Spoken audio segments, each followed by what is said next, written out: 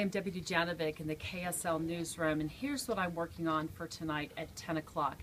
Uh, you parent like I am, um, you've probably been in a situation at stores with your children where your kids have seen something that maybe you wish they wouldn't have seen, maybe something not quite kid appropriate.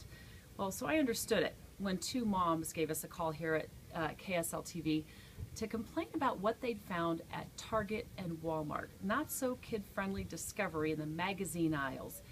Kids' books right next to racy magazines.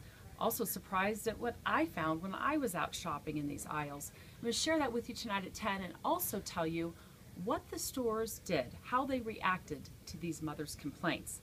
I'll see you at 10.